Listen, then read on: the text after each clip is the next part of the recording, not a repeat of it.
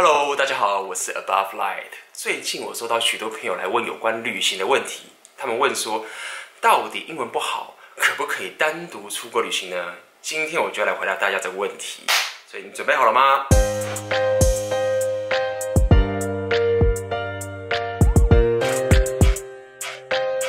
让我问你个问题，为什么你认为英文不好，不能一个人单独去旅行呢？许多人问这个问题是非常奇怪的。英文不好是怕迷路，然后找不到回家的路吗？现在很多地方一出机场的时候，那些牌子都是中文，而且入关的时候还会看到 Seven Eleven。你运气不好的话，旁边还有一堆华人用中文在那靠北来靠北去的。我知道，我知道，很多人会说，那我怎么跟外国人沟通啊？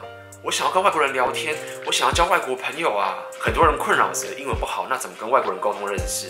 人家会嫌烦，不想跟我说话呢。其实跟外国人沟通，你英文不用很好也没有关系的，你只要真诚的做你自己，尽力的表达就可以了。就算你只懂一点点英文单字，都是没有关系的。I A B You, You beautiful We together and go go go go go go go go go go go go go。所以英文不好根本不是问题，你还是可以跟外国人沟通的，就算英文再烂也没有关系，而且这样更好笑。你就在那边呼斗来斗去，英文不好反而是一件很好的事情。如果是一些日常生活的东西，比如说吃饭啊、去餐厅，这些东西都是可以解决的。像我已经去了十五六个国家，我到现在还看不懂一些 menu，看不懂一些菜单。每次点菜的时候一来，完全看不懂。嗯，chicken。Orange juice，OK OK。那如果是住宿，你怕迷路回不去，你就把地址写在纸上，OK。看到人的时候就直接拿纸给他看，这里怎么走，或者是现在根本大家都用 GPS，根本不会迷路，所以日常生活都是可以打理的，只是会有一些些麻烦而已。重点是你要注意自己的安全，但是英文不好跟你安不安全没有关系，你只要去治安安全好的国家就可以了。现在有很多很多地方都比台湾还要安全，比如说纽西兰。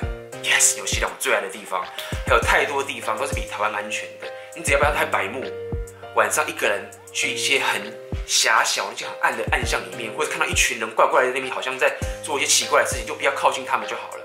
这很简单，跟你英文好不好没有关系的。所以说，出国旅行英文不好，只有一个问题，就是你的生活会比较麻烦，因为你看不懂英文。就得问很多很多问题，花很多很多时间去研究。